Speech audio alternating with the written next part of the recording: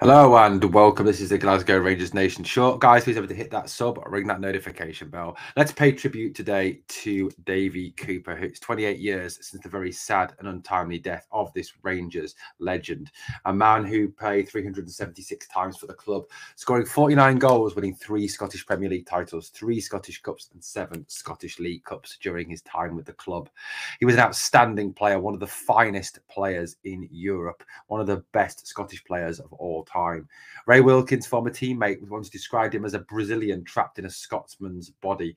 Terry Butcher said that his delivery was second to none, and he rated Davie Cooper's delivery of free kicks and corners as been better than David Beckham's.